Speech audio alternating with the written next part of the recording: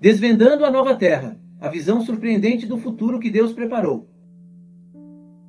Hoje trago a vocês uma mensagem profundamente inspiradora e reveladora, desvendando a nova terra, uma visão surpreendente do futuro. Antes de mergulharmos nesse tema fascinante, quero compartilhar um versículo que nos guiará nesta jornada.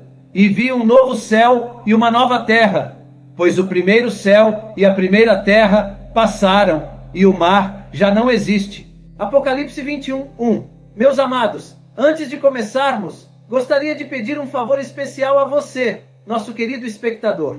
Se você está gostando dos vídeos que compartilhamos aqui e deseja acompanhar mais conteúdos inspiradores como este, por favor, inscreva-se no canal Profeta Pastor Marcone Silva, ative o sininho para receber todas as notificações e deixe seu like. Sua participação é fundamental para continuarmos trazendo mensagens edificantes e de qualidade para vocês. Agora imagine um mundo transformado, onde a justiça e a paz reinam soberanas, onde a presença de Deus é palpável em cada canto e onde toda lágrima é enxugada. Essa é a promessa de uma nova terra, um novo começo que Deus preparou para todos os que o amam e seguem seus mandamentos. Neste vídeo vamos explorar as escrituras e descobrir as maravilhas que nos aguardam. Vamos entender como essa promessa impacta nossas vidas hoje e como podemos nos preparar para essa gloriosa realidade. A nova terra não é apenas um conceito distante, é uma verdade que nos inspira a viver com esperança e fé. Fique conosco até o final e permita que esta mensagem toque seu coração e fortaleça sua caminhada com Deus. Vamos juntos desvendar os mistérios da nova terra e nos encher de esperança e expectativa pelo futuro que o Senhor tem preparado para nós. Prepare-se para ser surpreendido e edificado.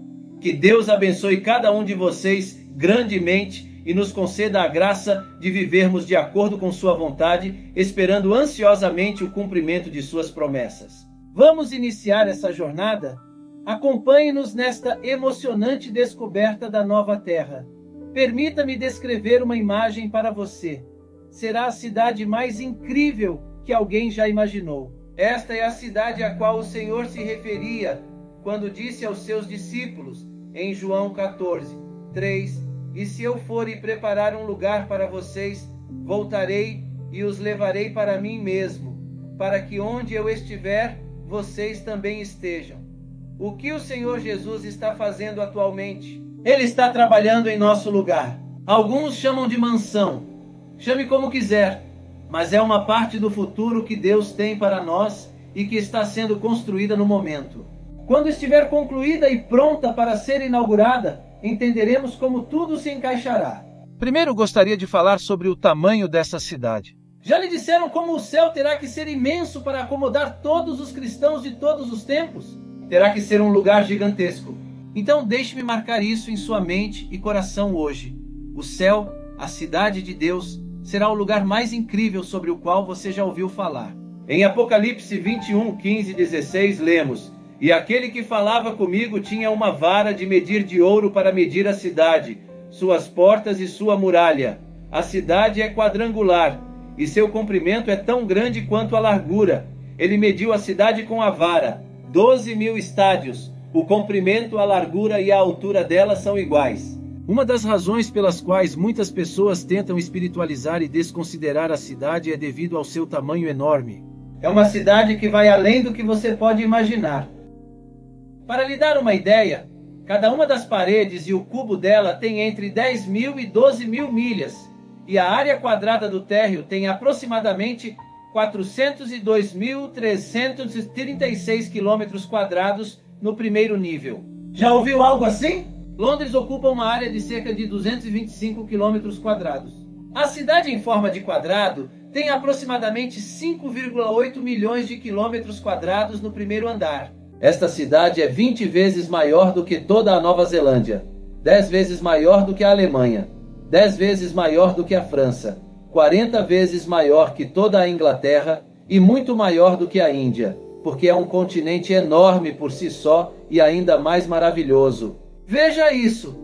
Calculando com base no número de pessoas por milha quadrada na cidade de Londres, a população da cidade em forma de quadrado chega a 100 bilhões 70 vezes a população atual do globo inteiro. Então, se o Deus Todo-Poderoso guarda o melhor para o final e sua criação final é esta nova cidade, você não esperaria que fosse a coisa mais espetacular que você pudesse imaginar? Como Deus vai fazer uma cidade dessas descer do céu? Alguém pergunta, com o mesmo poder que ele possuía quando falou uma palavra e o mundo foi criado. O mesmo poder que ele tinha quando falou e a criação nasceu. E se ele diz em sua palavra que vai fazer, ele vai fazer. Então vamos falar sobre o interior da cidade por um momento.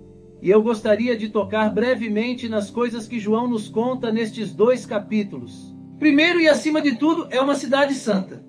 Conforme o versículo 2 do capítulo 21, então eu, João, vi a cidade santa, a nova Jerusalém, que descia do céu da parte de Deus, preparada como uma noiva adornada para o seu marido. A principal característica da cidade, para a qual um dia nos mudaremos, é que ela é santa. Escrito da seguinte forma no comentário bíblico de Wycliffe: A cidade santa será uma em que nenhuma mentira será proferida em cem milhões de anos. Nenhuma palavra maligna será jamais falada, nenhum negócio duvidoso será jamais discutido, nenhuma imagem impura será jamais vista, nenhuma corrupção de vida será jamais manifesta. Será santa porque todos nela serão santos. Não se pode entrar na cidade santa a menos que se nasça de novo e se vá para o céu.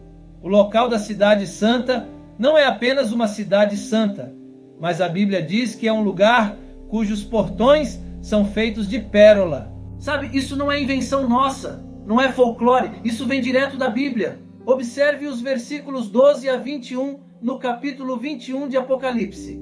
Ela tinha uma muralha grande e alta com doze portões, e nos portões estavam doze anjos. Nos portões estavam escritos os nomes das doze tribos dos filhos de Israel. Do lado leste havia três portões, do norte três portões, do sul três portões e do oeste três portões. A muralha da cidade tinha doze fundamentos, e sobre eles os doze nomes dos doze apóstolos do Cordeiro.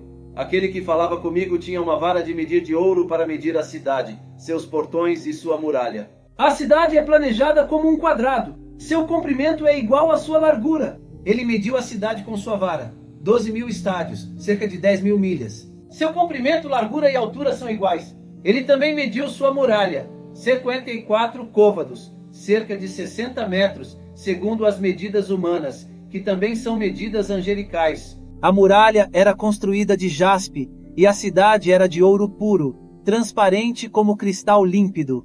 As pedras fundamentais da muralha da cidade eram adornadas com todo tipo de pedra preciosa. A primeira pedra fundamental era jaspe, a segunda safira, a terceira calcedônia, a quarta esmeralda, a quinta sardônica, a sexta sárdio, a sétima crisólita, o oitavo berilo, o nono topázio, o décimo crisoprásio, o décimo primeiro jacinto, o décimo inecendo ametista. E os doze portões eram doze pérolas. Cada portão separado era de uma única pérola. E a rua, a via larga da cidade, era de ouro puro, como cristal transparente. João vê a muralha inteira como uma cintilante pulseira de diamante. Ele diz: A construção da muralha era de jaspe e a cidade era de ouro puro, como vidro límpido. Então, se você a visse de longe, ela apenas brilharia e reluziria ao girar e as cores da glória da cidade seriam tão avassaladoras que tirariam o seu fôlego. A cidade é planejada como um quadrado. A Nova Jerusalém tem comprimento, altura e largura iguais, o que indica que é ou um cubo ou uma pirâmide. Se for um cubo, assemelhar-se-á ao lugar santo do tabernáculo, implicando que toda a cidade é um espaço sagrado. O tamanho da Nova Jerusalém é enorme 12 mil estádios equivalem a 1.500 milhas, ou 2.400 quilômetros. Essa é a mesma distância de Maine à Flórida. A área quadrada aproximaria o tamanho da Lua. Lemos que a construção de sua muralha era de jaspe. Podemos obter um breve vislumbre do que João viu, mas não podemos sequer começar a vê-lo em sua plenitude até que o vejamos com nossos próprios olhos. Jaspe, safira, calcedônia. A identificação precisa dessas gemas em termos modernos é difícil mas a impressão é de uma beleza estonteante sem fim. Também lemos sobre vidro claro, como vidro transparente. Um comentarista bíblico observou: a constante menção de transparência indica que a cidade é projetada para transmitir a glória de Deus na forma de luz sem obstáculos.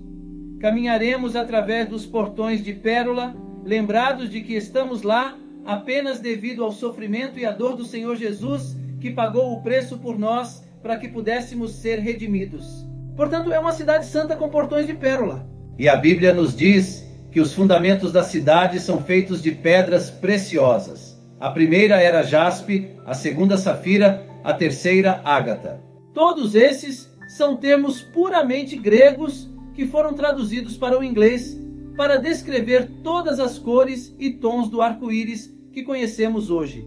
E a Bíblia diz que essa grande cidade quadrangular que desce dos céus será construída sobre isso, e você verá uma fundação de doze camadas, com cada camada contendo uma pedra bela diferente, como esmeraldas e diamantes, além de todas as outras pedras belas encontradas pelo universo. Cada uma das fundações será única. Como resultado, ao ver a fundação da cidade, você ficará maravilhado com a beleza de todas as fundações de gemas sob essa imensa cidade de Deus. Em vez de serem doze fundações individuais separadas umas das outras, elas estão empilhadas umas sobre as outras, e você as vê todas juntas em pequenas ondulações de ouro e pedras preciosas. A Bíblia então diz que não é apenas uma cidade santa com portões de pérola e uma fundação de pedras preciosas, mas também tem ruas de ouro. Eu sei que alguns de vocês pensam que isso também é folclore. Você ouve tudo sobre as ruas de ouro no céu. Vamos caminhar em ruas de ouro. Está em todos os velhos espirituais, está em todas as antigas canções gospel, as ruas de ouro. Há ruas realmente de ouro no céu. É verdade que há ruas de ouro no céu? Olhe para o versículo 18 e novamente para o versículo 21 do capítulo 21. E a construção de sua muralha era de jaspe, e a cidade era de ouro puro, como vidro límpido. E observe o versículo 21. Os doze portões eram doze pérolas. Cada portão individual era de uma pérola. E a rua da cidade era de ouro puro, como vidro transparente. Queridos irmãos e irmãs, chegamos ao fim dessa jornada fascinante pelo futuro que Deus preparou para nós. A nova terra, com suas ruas de ouro, portões de pérola e fundações de pedras preciosas, é um testemunho da glória e do amor de Deus por seus filhos. Lembrem-se, essa cidade maravilhosa é real e está sendo preparada para nós. Nossa esperança e fé devem ser renovadas diariamente, vivendo de acordo com os ensinamentos de Jesus e aguardando com expectativa o dia em que habitaremos essa nova Jerusalém. Em meio a esses relatos, quero fazer um convite especial Deixe a sua resposta nos comentários. Quer aceitar Jesus como único e eterno Salvador? Se você disser sim, prepare-se para as mais de 8 mil promessas que ele tem para você. Vou deixar nos comentários fixados uma playlist para aumentar ainda mais a sua fé. Agradeço por dedicar seu tempo a essa reflexão. Se você gostou deste vídeo, não se esqueça de se inscrever no canal Pastor Marcone Silva, ativar o sininho e deixar o seu like. Sua participação é essencial para continuarmos trazendo mensagens edificantes e de qualidade. Além disso, gostaria de destacar a importância da playlist disponível no canal. Nela, você encontrará uma seleção de vídeos que abordarão de maneira profunda e detalhada as promessas de Deus, a vida eterna e a glória que nos espera. É uma oportunidade única de aprofundar seu entendimento sobre essas questões tão relevantes e complexas. A playlist é atualizada regularmente, garantindo que você sempre tenha acesso a novos conteúdos que fortalecerão sua fé e seu conhecimento bíblico. Prepare-se para ser surpreendido e edificado. Vamos juntos, como uma grande família de fé, desvendar os mistérios da nova terra e nos encher de esperança e expectativa pelo futuro glorioso que o Senhor tem preparado para nós. Que Deus abençoe a todos vocês até a próxima com mais uma mensagem edificante e cheia da graça do Senhor. Graça e paz.